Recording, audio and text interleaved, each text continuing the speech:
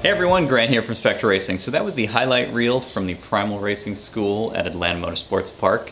So the Primal Racing School is an accredited program where you can uh, take like three-day course like I did and you can get your racing license to compete in Pirelli World Challenge or uh, some of the Radical series. So we did attend this uh, three-day racing school with one of our friends, uh, Sara Haro from Sara Haro Drift. Uh, we'll be doing a couple videos with her in the future, including a future drift event where she's going to teach me how to drift, so that should be pretty funny. So as far as the program itself, we're going to do a full in-depth video on each step, each training course, each one of the things you saw. You know, we did skid pad, autocross, and then up to, you know, the more advanced racing starts and, you know, those kinds of things, uh, you know, learning flags and all those kinds of things that you need in a wheel-to-wheel -wheel race. In the meantime, I'm going to leave you with a full lap of me driving the Radical SR1. so it's a little slower. It did rain the first two days, uh, so we didn't get a ton of footage. So this is one of the drier days when it was still a little slower. And uh, enjoy.